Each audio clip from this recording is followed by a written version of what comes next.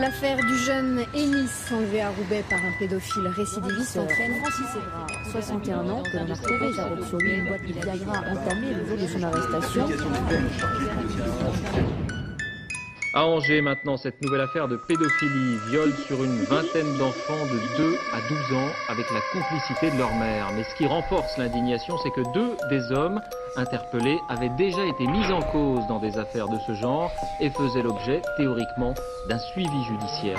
C'est l'histoire d'une femme de 51 ans. Cette femme est à l'origine d'un des faits divers les plus sordides en Europe. Une mère qui a gardé le silence sur ses crimes pendant plus de 20 ans, huit nouveau-nés qu'elle a tués. Huit cadavres de nouveau-nés retrouvés dans le Nord. Les parents présumés ont été mis en examen ce matin.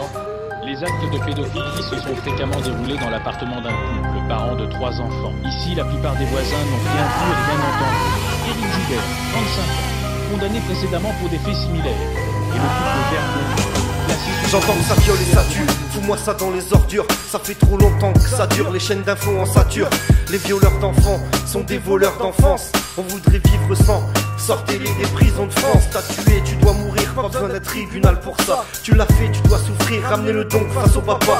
Tu voles une vie, faudrait donc arrêter la tienne. Tu violes une fille, putain, qu'est-ce que t'as dans la tête? J'imagine la peine des proches, il faut attendre un procès. Mais putain, ce sont des gosses, on ne doit pas les enterrer. Et derrière leur innocence, ils n'auraient pas imaginé que ton regard glaçant, c'est la dernière chose qu'ils verraient. Un enfant, une femme, ce n'est pas un jouet. Tu mériterais les flammes, mais la justice va t'épargner. Et tu le sais, comme je le sais, qu'aucune peine ne suffira. Si tu peux respirer, c'est déjà trop facile pour toi, t'es une saloperie qui ne mérite aucun pardon dans ta prison prise pour éviter tous les darons dans la cellule d'à côté. Il doit y avoir de la rage. J'espère aussi que t'es hanté et que tes nuits sont des cauchemars. Je pense aux familles meurtries et aux enfants détruits. Je pense aux pleurs et aux cris. Je pense aux pauvres petits qu'ils reposent en paix, qu'ils te rendent fou avec leurs cris, qu'ils donnent envie de te suicider, qu'ils ne te laissent aucun répit. Le jury l'ont condamné à la réclusion criminelle à perpétuité. Il a été reconnu coupable du viol et du meurtre de la petite Karine. Dans le passé, Patrick Tissier avait déjà été condamné à deux reprises aux assises. Soi-disant fous, donc pas responsable de leurs actes. Pour les chiens, on discute pas, on pique s'ils donnent pas la patte.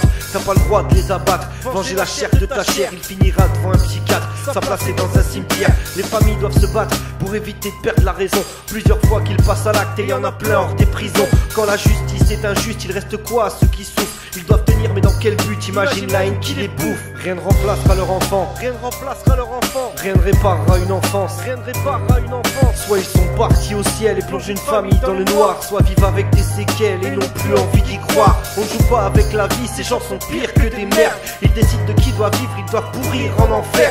Un enfant, un bébé, on n'y touche pas. Pourriture, une femme fragilisée n'est pas ta proie, ça leur dure. La seule solution, c'était euh, l'élimination de Patrick Tissier, compte tenu de ce qu'il avait fait et de ce qu'il est encore capable de faire. Après 25 ans déjà passés derrière les barreaux, ce multirécidiviste va y retourner au moins jusqu'en 2028. Ce multirécidiviste, ce multirécidiviste,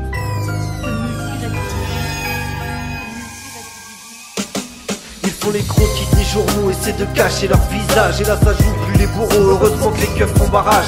Même en voulant les punir à la manière qui leur est due. On ne pourra jamais faire pire que tous leurs actes de torture. Protégez vos enfants, même si on vous croit parano. Je préfère être méfiant, bien sûr, je le suis par amour. Le cercle familial n'est pas une protection. Parfois, la proximité facilite leurs agressions, c'est triste à dire.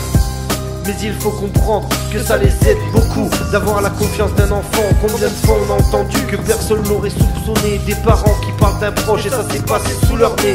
Un oncle, une tante, un cousin, un voisin, même un ami de la famille, peut-être quelqu'un de malsain. Patrick Tissier, 41 ans, répétitif et bien l'assassin de la petite Karine. Au fond d'un puits sous 4 mètres de gravats, que les enquêteurs ont retrouvé le corps de Karine. L'enfant est morte assassinée. Il aurait violé et étranglé la petite fille dans sa voiture dans l'heure qui a suivi son enlèvement. Le fils d'un patron de sex shop a confirmé devant le juge d'instruction qu'il aurait assisté à une soirée spéciale où une petite fille aurait été battue à mort.